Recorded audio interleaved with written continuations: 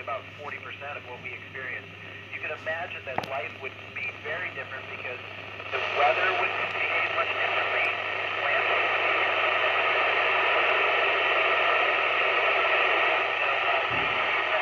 would be significant. So we have a, uh very special planet, and we need to take great care of it.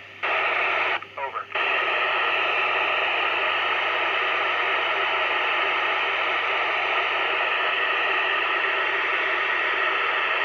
Our days are very busy. We are doing experiments on behalf of the researchers on the ground. Uh, we're also doing a lot of activities to maintain the space station. It is a very big and complex uh, and getting a little bit older uh, spacecraft. And so uh, there's a lot that we need to do. Uh, and sometimes we can actually even make it better. Uh, we can do upgrades. Recently we did some spacewalks where we put up new solar arrays so that the space station can keep generating the power it needs to do those important experiments. Over.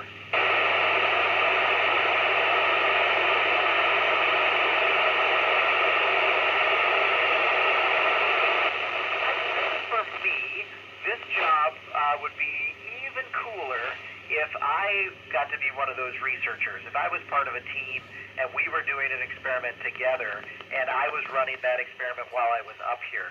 I do enjoy being part a part of a lot of different experiments, but if there was one that I do very, very well, uh, that would be very interesting to me. Over.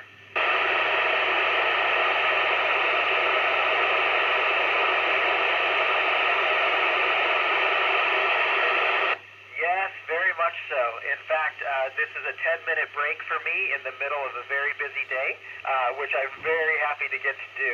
Uh, but our days tend to start about 7.30 in the morning and they go until 7.30 at night. And we are constantly hopping from one event to the other. And again, that is either an experiment or doing things uh, that the space station itself requires. It's very interesting. We get to see a lot of different things. So at the end of the day, we may be tired, but it seems really, really rewarding because we've done so many very different things. Over. So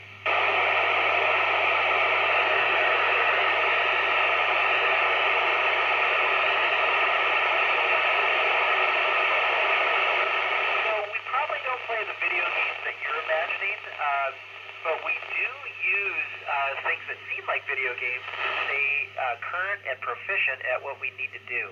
For example, we have a computer simulation of flying the robotic arm. We have a giant robotic arm in the space station that we use for a variety of things, catching cargo vehicles. Uh, my friend Nicole and, and my other friend Koichi flew me around. I was on the end of the robotic arm uh, when we were doing a spacewalk.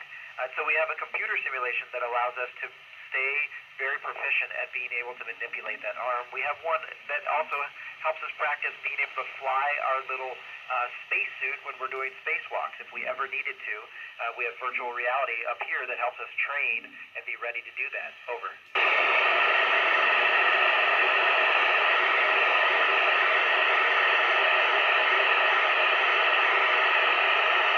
Well, I haven't done that part yet. I've been up here uh, about four months, and we have not gone home yet. This is my first flight, uh, but we have trained for it quite a bit. And so the sensations are going to be, well, first of all, we're going to be experiencing gravity that we haven't uh, felt for uh, quite a while. And so we're going to start uh, having, you know, we'll have our blood start uh, coming down to our legs where it hasn't spent a lot of time recently.